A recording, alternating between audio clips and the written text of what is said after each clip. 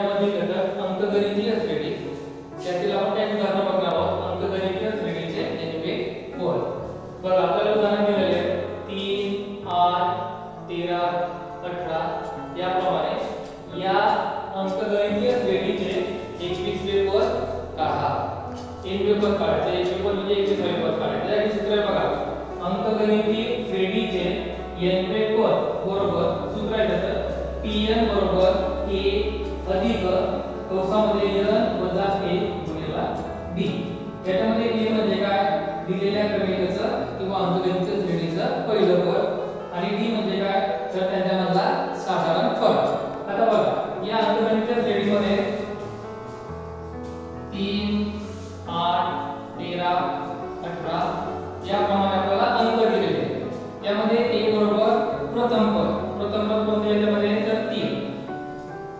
D बरोबर साधारण फरक. साधारण फरक कसा काढतो आपण? तर टी टू वजा t1 म्हणजे दुसरे पद वजा पहिले. दुसरे पद काय इथे तर आठ. म्हणजे आठ वजा t 8 मधून तीन गेले किती राहिले? तर पाच. म्हणजे याच्यामध्ये डी बरोबर किती राहिले आपल्याला? पाच. आणि कितवे पद काढायचे आपल्याला? तर 21 आवे म्हणून आपण इथे n बरोबर घेतला 21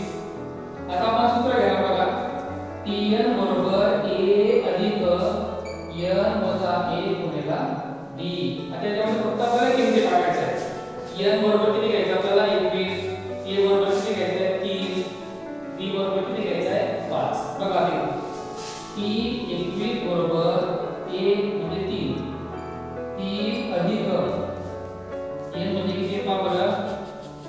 21 21 वजा 1 गुणिला d.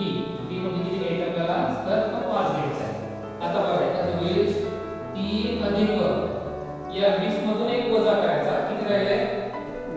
20 गुणिला हे 5 आता प्रथम याचा गुणाकार करून घेऊ आपण. 20 गुणिला 5 3 अधिक 20 हा पाचा 100 100 अधिक 3 म्हणजे 103 म्हणजे इथे श्रेणी दिली आपल्याला 3 8 13 18 या मध्यवर्तीय श्रेणीचे एकवीस अविर्भाव किती असेल